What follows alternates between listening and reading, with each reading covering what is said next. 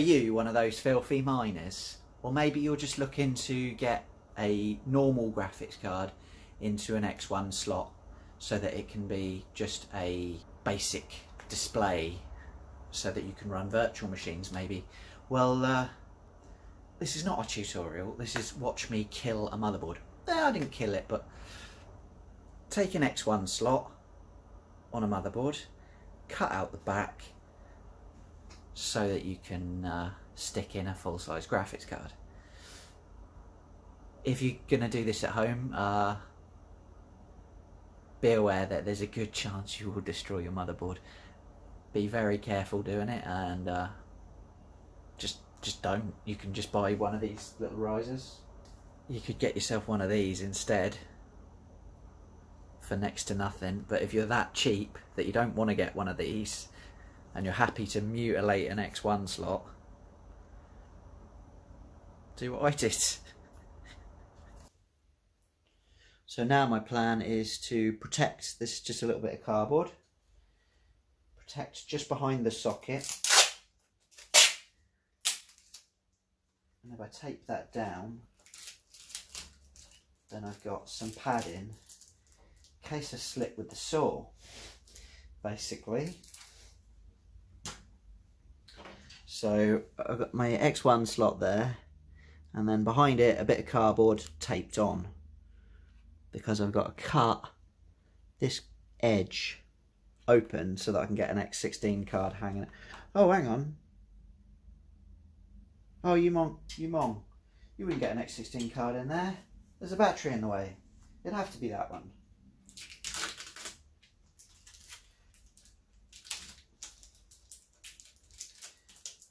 Scrap that.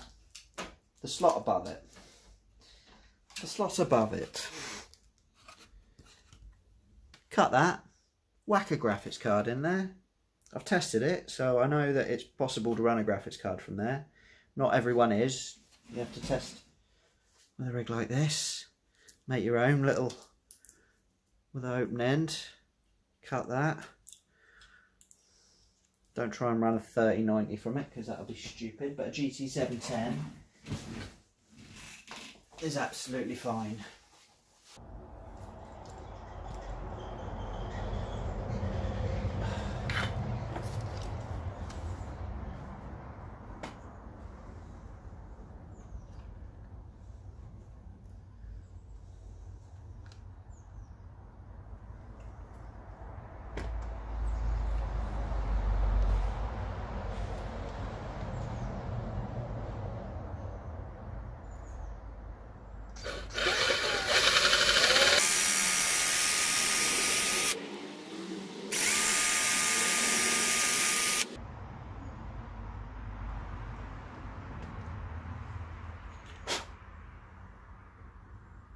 Happening.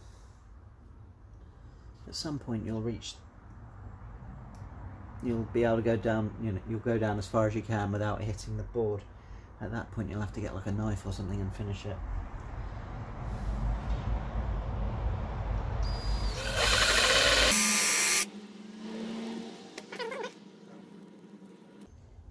Different angle. Try and widen it a bit.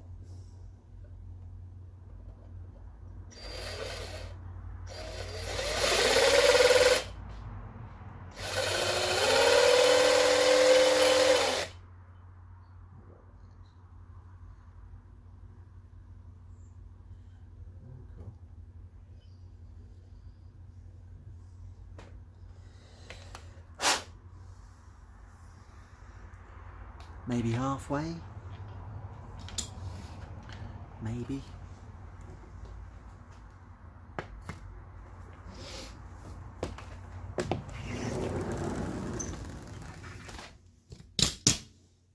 Definitely one you want to take your time with though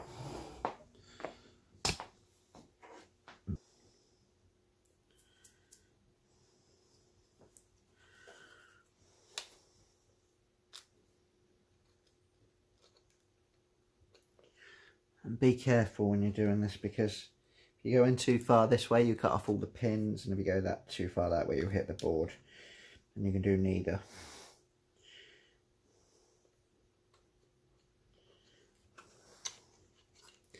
and all the burred up plastic will go into the pins.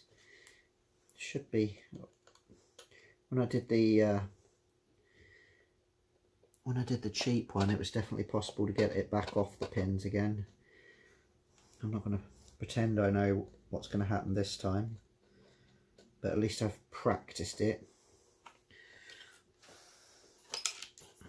Though it wasn't mounted to the same sort of board. Oh my god. I'm not that deep into that yet. I've got a long way to cut. Hmm. Sharper knife. You might have better luck with a smaller Dremel blade and an actual proper Dremel rather than a attachment for a drill.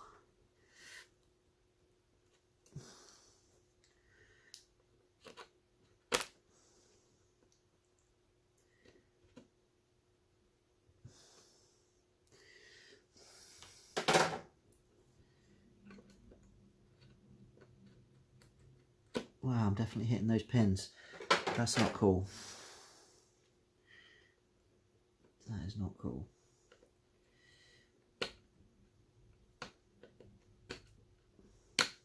Ooh.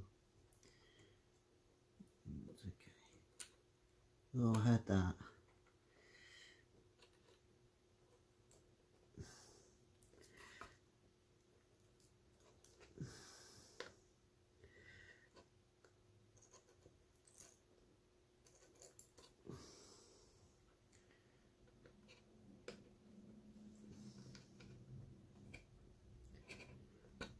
Well, that's cutting it nicely.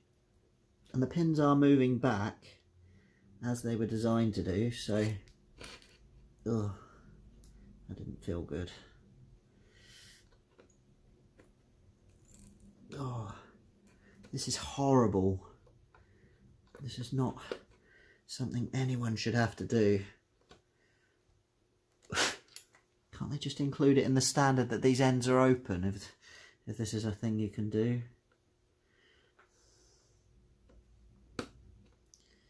Oh, that was horrible as well. I hope they're still still any good afterwards. She can't see that one. I don't know. Well, that one got wet at some point. That one's a bit green. I know that one got greened. But he's been alright lately anyway. So yeah this knife is probably doing the most. Just a really sharp kitchen knife. And I'm just cutting out cutting at it in different different angles trying to open it up.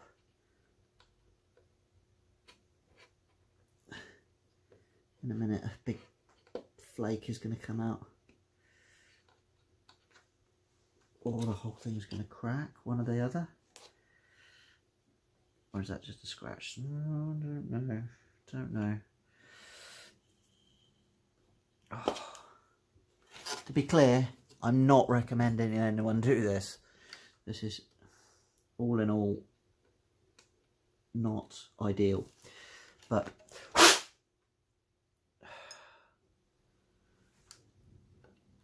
as long as I don't hit the board, then worst case scenario is I lose this slot. And as I'm not using this slot, that'll be okay. I suppose I could do more by bending these pins so they touch each other and then mess up something. Could fuck the CPU up even. As I said, I'm really not recommending this. 21.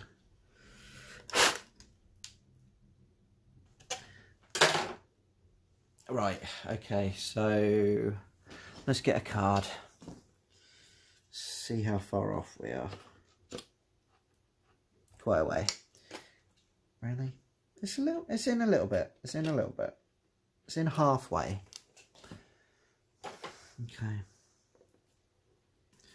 Butchery it does sort of slice a bit if you get a really sharp knife. There goes a bit. Oh.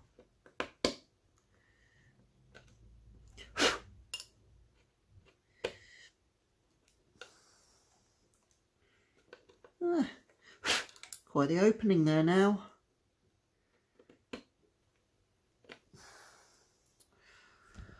Eventually you go a bit cross-eyed looking at circuits like this. Yeah, I would not recommend doing this without something thick and protective there.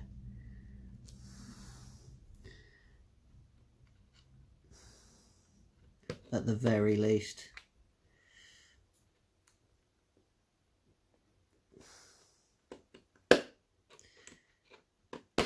Oh, Christ, that was terrible. Slipped off a bit.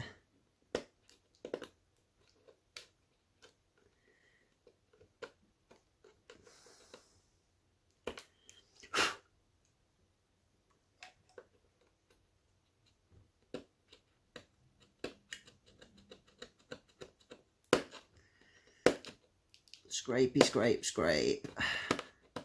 Scrapey, scrape, scrape. Running a VM from the primary GPU is not actually that easy. It doesn't tend to go very well. Wow, that pin is a bit buggered actually, but I'd say it probably still work. Sorry, yeah, and what you didn't know is when you look at these slots, you can see inside the slot, you can see the fingers, but then behind it, there are these little black holes and you can just about see a tiny bit of copper at the base.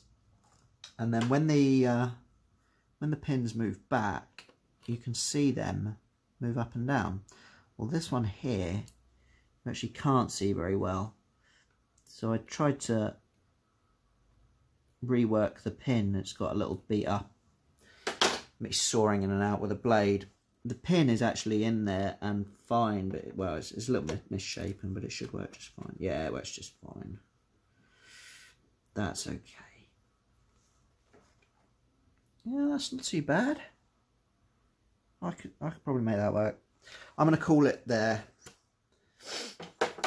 And we'll go back to testing. Right, how's the board look? The board looks fine. So, as long as there's no bits of plastic in there,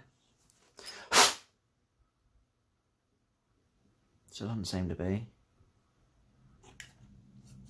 Well, there are various other things I could have up. I could have staticked it to death as well, but let's let's find out if it still lives. Wish me luck.